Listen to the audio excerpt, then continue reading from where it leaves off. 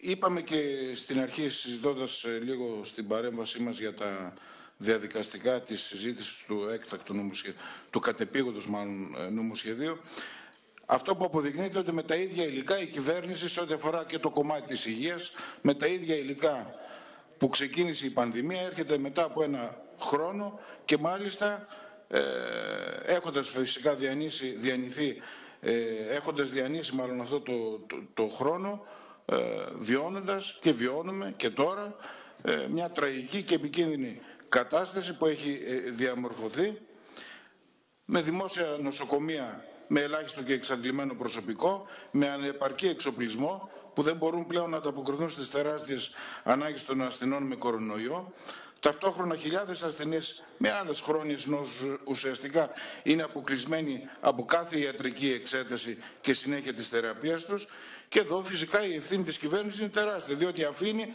άφησε και αφήνει, συνεχίζει να αφήνει ανοχήρωτες τις δημόσιες μονάδες υγείας. Δεν προσλαμβάνει προσωπικό, δεν επιτάσσει χωρίς αποζημίωση τις μονάδες του ιδιωτικού τομέα για να προσθεθούν δομές, υποδομές και προσωπικό προς όφελος όλων των ασθενών, δεν αξιοποιεί τους χιλιάδες αυτοαποσχολούμενους γιατρούς σε ένα κρατικό σχέδιο για την ενίσχυση κυρίως της πρωτοβάθμιας φροντίδας υγείας, με ενίσχυση των κέντρων υγείας αλλά και των νοσοκομείων. Αντίθετα, εντάσσει με κριτήριο όσες υποδομές του ιδιωτικού τομέα ενισχύουν την κερδοφορία τους, περιορίζοντας την όποια συμβολή ή συνδρομή τους στη θεραπεία ασθενών που έχουν όμως ή είναι σε στάδιο αποθεραπείας στην ουσία.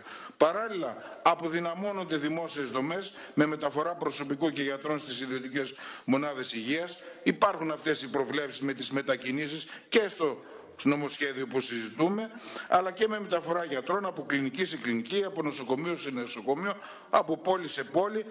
Εξάλλου, όπως λέτε, όλη η Ελλάδα είναι μια υγειονομική περιφέρεια. Άρα μπορεί ο εργαζόμενος γιατρός, νοσηλευτής να φεύγει από το βορρά και να φτάνει στο νότο. Από τον Εύρο στην Κρήτη και πίσω πάλι. Όμως την ίδια ώρα οι χλιδάτες κερδοφόρες μεγάλες οργανωμένες μονάδες του ιδιωτικού τομέα που θα μπορούσαν να συμβάλλουν έχουν κάρτα ασυλίας από την κυβέρνηση για να συνεχίσουν να εξασφαλίζουν τρελά κέρδη αξιοποιώντας τα χάλια του δημόσιου τομέα.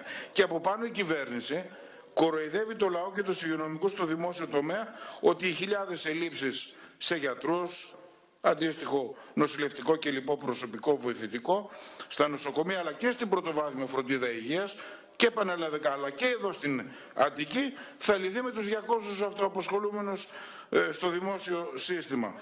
Και αυτό που είδαμε φυσικά ήταν από τη μία απειλές για επιστράτευση των 200 αυτών αυτοαποσχολούμενων και από την άλλη ασυλίας στους μεγαλοκλινικάρχες.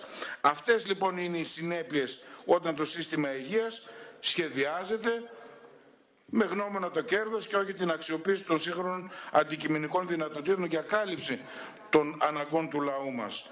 Όταν γνώμονας λοιπόν για το σχεδιασμό του συστήματος υγείας είναι η διασφάλιση εσόδων στη βάση οικονομικών κριτηρίων που αυτά καθορίζουν και τη λειτουργία των δημόσιων και ιδιωτικών ε, δομών.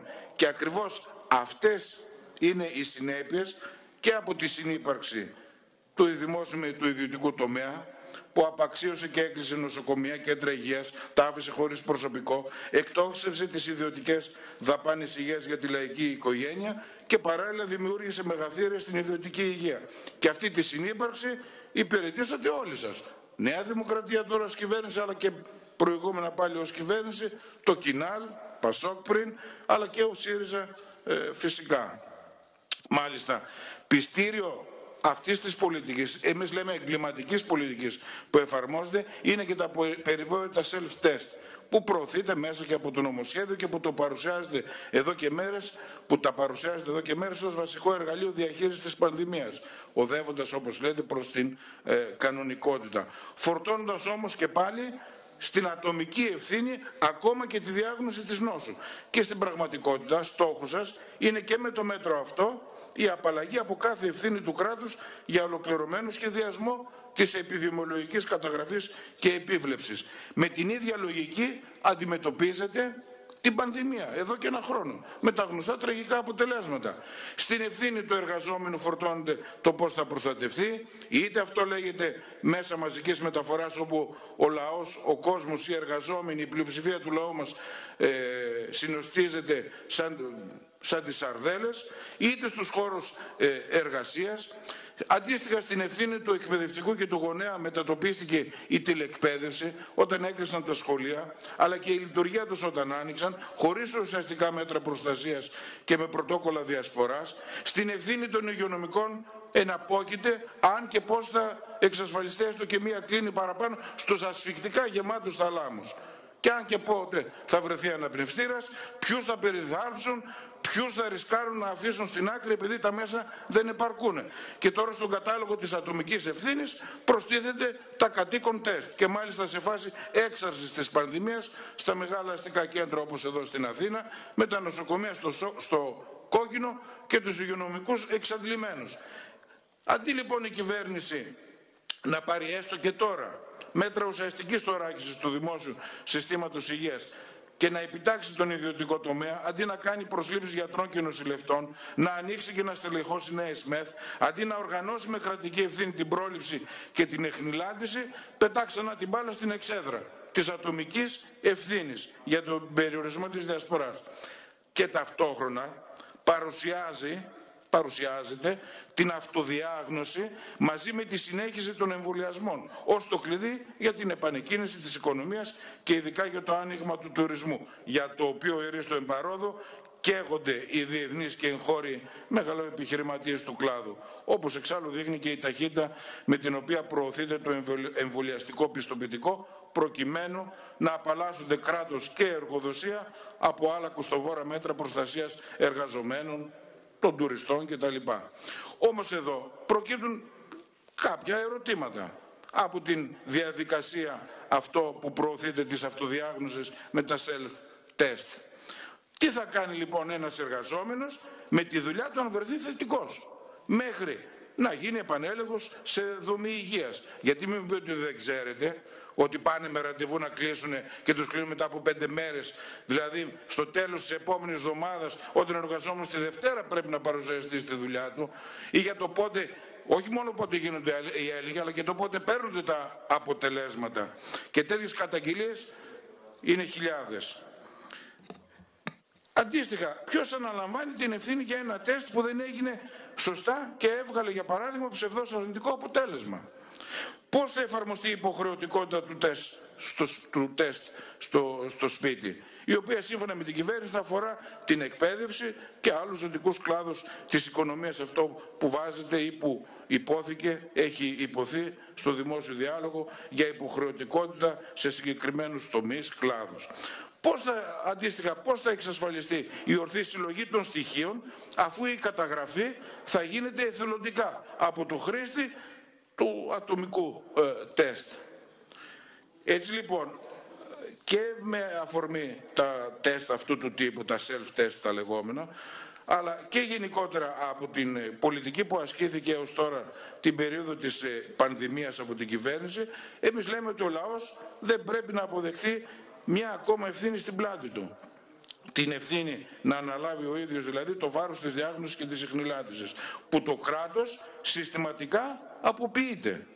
Το, δικαίω, το δίκαιο αίτημα των υγειονομικών, των σωματείων και άλλων φορέων για δωρεάν ε, με κρατική ευθύνη μαζικούς και επαναλαμβάνους ελέγχους σε δομές υγείας, σε σχολεία, μεγάλους χώρους δουλειάς, είναι κατά τη γνώμη μας πιο επιτακτικό από ποτέ. Μετά φυσικά, αν θέλετε, κατά την ε, ε, εκδήλωση με βάση μάλλον και τις ε, τελευταίες εξελίξεις, ε, τις τραγικές αν θέλετε, εξελίξεις στο τομέα της δημόσιας περίθαλψης. Θεωρούμε, κύριε Πρόεδρε, θεωρούμε ότι είναι αδιανόητο και εγκληματικό τη στιγμή που τα δημόσια νοσοκομεία έχουν καταρρεύσει, που ασθενείς χάνουν τη ζωή τους εκτός ΜΕΘ, που τα ρεκόρ κρουσμάτων και διασυλλογμένων σπάνε το ένα μετά το άλλο. Η κυβέρνηση να αρνείται πεισματικά την επίταξη των μεγάλων ιδιωτικών κλινικών. Επίσης είναι αδιανόητο και εγκληματικό οι επιχειρηματίες της υγείας να συνεχίζουν να θησαυρίζουν πάνω στη ζωή και τον πόνο χιλιάδων ανθρώπων. Και αυτό το έγκλημα, κύριε Πρόεδρε, στο βωμό του κέρδους ούτε ξεχνιέται, ούτε παραγράφεται. Αυτό να το γνωρίζει πολύ καλά ε, η κυβέρνηση. Το Κομμουνιστικό Κόμμα, κύριε Πρόεδρε και κύριοι Υπουργοί, από την αρχή της πανδημίας, και το γνωρίζετε πολύ καλά αυτό, είχε καταθέσει συγκεκριμένες προτάσεις και στο κυβέρνηση, αν θέλετε και πιο συγκεκριμένα στο Υπουργείο Υγείας. Φωνή βόντους φυσικά, από το ένα αυτοί μπήκαν, από το άλλο βγήκαν. Εμείς επιμένουμε, έστω και στο και πέντε, για άμεση επίταξη χωρίς αποζημίωση όλων των ιδιωτικών κλινικών, ΜΕΘ, ΜΑΘ, χειρουργείων και διαγνωστικών αλυσίδων, διαγνωστικών τεστ, κλπ. για να διασφαλιστούν υψηλού επίπεδου δωρεάν υπηρεσίες υγείας σε ασθενείς με COVID, αλλά και ουσιαστική παρακολούθηση και αντιμετώπιση των μη COVID περιστατικών, των χρόνιων περιστατικών, τα, τα οποία έχουν αφαιθεί στον αυτόματο, επιτρέψτε μου τον όρο. Άμεσα μαζικές προσφύσεις μόνιμου υγειονομικού προσωπικού για τις τελέχους των δημόσιων νοσοκομείων και των κέντρων υγείας.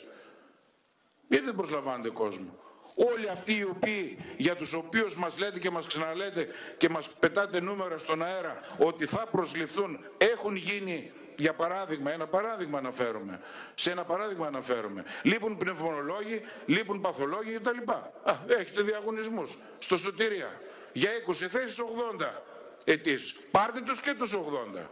Αντίστοιχα στους παθολόγους. Τα, τα κενά είναι τεράστια και τα ξέρετε πάρα πολύ καλά. Και δεν μιλάμε μόνο και δεν προτάσουμε μόνο τα κενά στη βάση των οργανογραμμάτων. Εμείς προτάσουμε τις ανάγκες των νοσοκομείων, των μονάδων υγείας, πρωτοβάθμια και δευτεροβάθμια κτλ. Που είναι πολλαπλάσιες από τους αριθμούς που αποτυπώνονται μέσα από τα οργανογράμματα. Αλλά ακόμα και με αυτούς τους αριθμούς να μιλήσουμε, είμαστε πολύ πίσω σε μια έκτακτη κατάσταση. Σε πόλεμο όπως λέτε. Ε, άμεσα να ανοίξουν τα δημόσια νοσοκομεία και οι δομές πρωτοβάθμιας φροντίδας, σας το είχαμε πει από πέρυσι, που είχαν κλείσει, που είχαν κλείσει τα τελευταία χρόνια. Ελέω καπιταλιστικής οικονομικής κρίσης και εδώ οι ευθύνε φυσικά είναι και της Νέας Δημοκρατίας και του Πασό και του ΣΥΡΙΖΑ κατ' επέκταση. Ε, ένταξη των αυτοαποσχολούμενων γιατρών σε ενιαίο κρατικό σχέδιο ενίσχυσης κυρίως των μονάδων της πρωτοβάθμιας φροντίδας υγείας αλλά και των δημόσιων νοσοκομείων για την περίθαλψη φυσικά όλων των ασθενών. Ε, πρόσληψη των γιατρών που ε, επίκενται ή είναι μπροστά στην έναρξη ε, της ειδικότητάς τους. Ουσιαστικά μέτρα πρόληψης στους χώρους δουλειάς που είναι αποδείχτηκε περίτρανα ότι ένας βασικός χώρος, χώροι αν θέλετε, μετάδοσης, υπερμετάδοσης, όπως θέλετε πείτε το, του, του, του ιού ανάμεσα στους εργαζόμενους.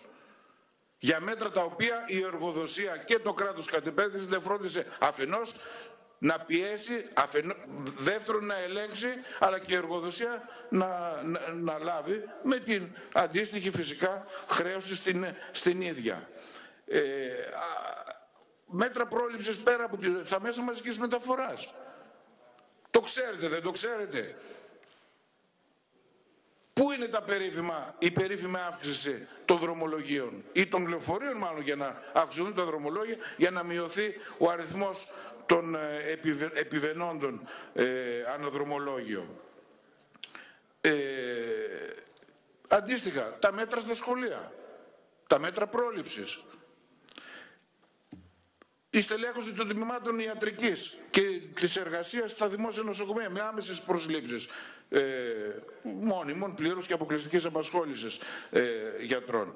Η δημιουργία τοπικών μονάδων υγείας με, που θα διασυνδέονται με τις δομές της πρωτοβάθμιας ε, φροντίδας υγείας που θα είναι υπεύθυνες ε, προκειμένου για τον κορονοϊό με την, και όχι μόνο αλλά με αφορμή την ε, πανδημία ή τον ιό αν θέλετε με την καταγραφή όλων των επιδημιολογικών ε, δεδομένων. Και παράλληλα φυσικά θα συμβάλλουν στη φροντίδα ε, και στην περίθαλψη ε, των ε, ασθενών, όχι μόνο των περιστατικών με κορονοϊό, αλλά και των μη COVID ε, περιστατικών. Από αυτά λοιπόν τίποτα δεν έχετε κάνει και ούτε πρόκειται να κάνετε. Δεν έχουμε καμία αυταπάτη, διότι η πολιτική σας είναι αυτή που, έχει, που, που, που, που γνώμονα της έχει που στο στόχο τους έχει τη στρατηγική της ε, σύμπλευση με την Ευρωπαϊκή Ένωση, με τους στόχους του κεφαλαίου.